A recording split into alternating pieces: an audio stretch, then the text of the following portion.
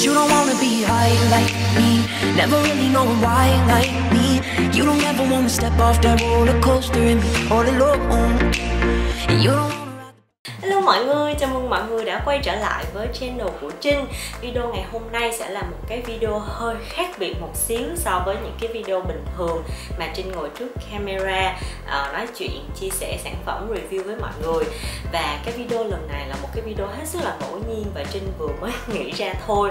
Và bây giờ Trinh cũng sắp tới giờ là phải đi ra ngoài rồi cho nên là phải quay cái video này thật là nhanh và video ngày hôm nay chính là video vlog về một cái buổi tối đi chơi của Trinh và ông xã và nhân dịp sinh nhật của Trinh lần thứ 29 Vâng, mình đã 29 tuổi rồi, mình sinh năm 1987 Thì uh, cái lần sinh nhật năm nay khá là đặc biệt Tại vì bình thường mọi năm thì sinh nhật thì sinh nhật của mình thì ông xã mình sẽ tạo bất ngờ cho mình.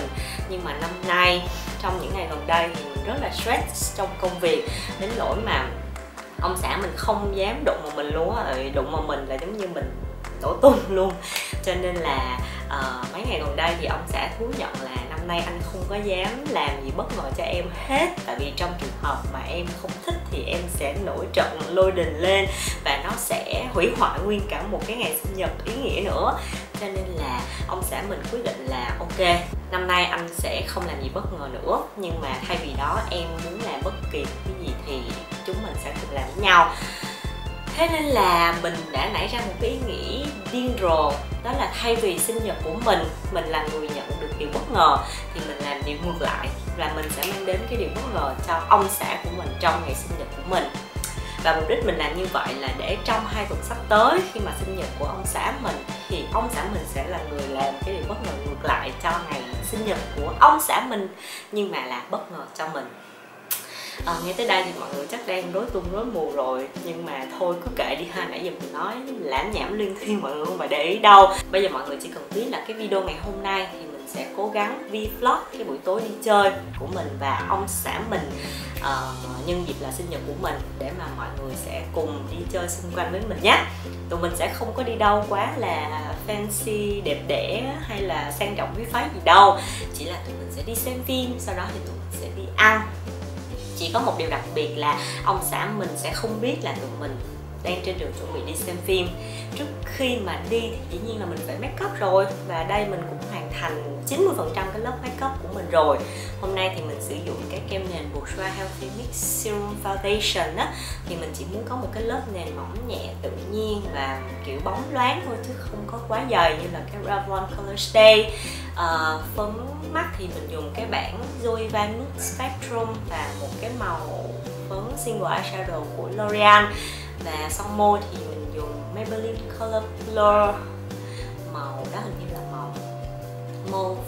Không nhớ chính xác nữa, mình sẽ để cái tên của cái son đó ở dưới phần description box ha. Và bây giờ chỉ còn một phần duy nhất mà mình chưa có make up, đó là phấn má highlight và bronzer sở dĩ mình bắt đầu cái video này luôn mà mình chưa có make up ba cái phần đó là tại vì tại vì mình muốn sử dụng cái palette này trong cái video này để mà cho mọi người chia sẻ với mình. Bây giờ đầu tiên mình sẽ sử dụng phấn má trước. Mình sẽ dùng cái màu phấn, màu hồng, cam mà nhũ như thế này. Màu này có tên là Rose Sprit mình sẽ sử dụng cây chỗ Real Techniques. Cái này hình như là brush blush bây giờ, trời ơi cái gương này nó to, kinh khủng, mình nhìn thấy nguyên cái mặt của mình luôn. Bây giờ mình sẽ cho phấn lên cọ. Tươi. Ừ. ôi. Trời, em này em pigmented giảm men luôn, mọi người. Màu lên rất là tự nhiên, mà lại còn kiểu hơi nhũ nhũ, kiểu vừa satin mà vừa nhũ nhẹ nên nhìn cái da rất là bóng khỏe mà lại tự nhiên nữa. Đây là cái sản phẩm phấn đầu tiên hay là sản phẩm, nói chung là tất một tập sản phẩm của Becca mà mình sử dụng sở hữu lần đầu tiên luôn. Mình sẽ đánh bronzer. Hôm nay mình chỉ đánh bronzer nhẹ nhẹ thôi. Mình sẽ sử dụng luôn cái màu này. Màu hơi nâu nâu này, có tên là Amaretto để đánh bronzer thì mình sử dụng cái cái cọ của ELF Blending Brush này cho.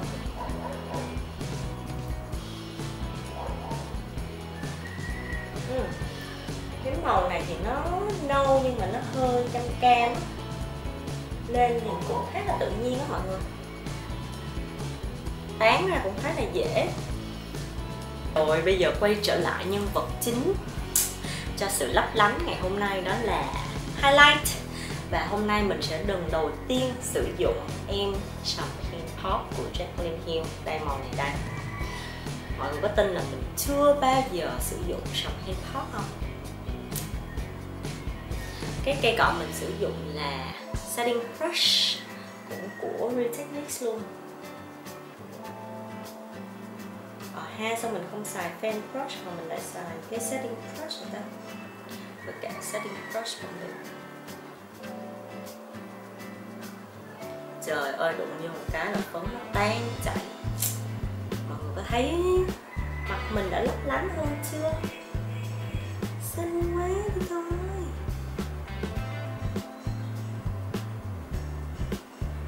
Cho một chút ở đây nữa.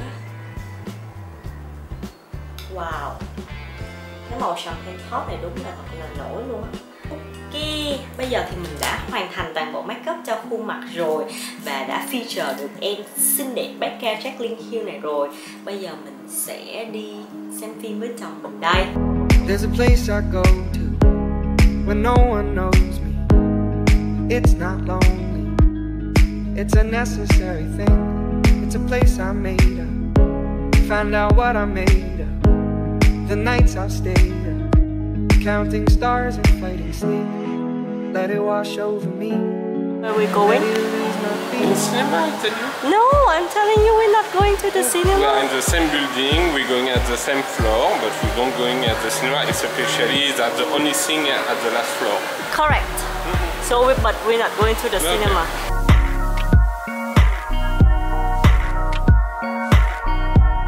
So now guess where we are going? Uh, we go in cinema, but not in the cinema. Yes,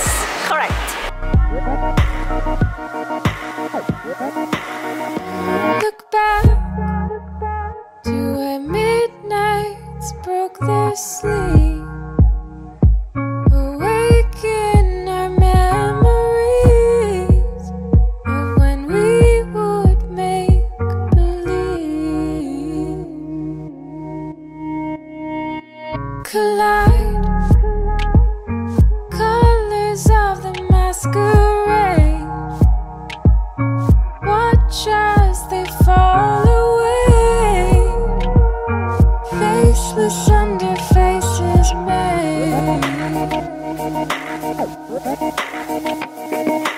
weeks went by but felt like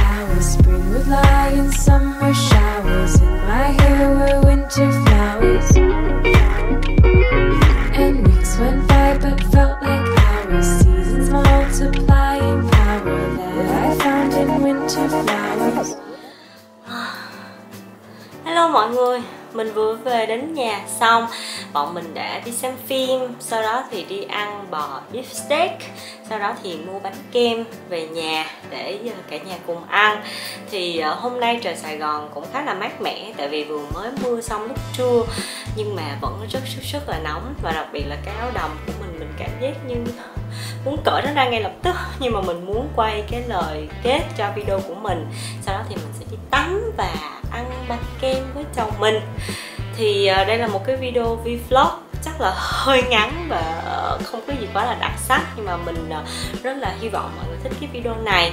Và mình rất là cảm ơn mọi người đã theo dõi video ăn mừng sinh nhật với mình. Vậy thì mình sẽ hẹn gặp mọi người trong video lần sau nhé. Bye bye!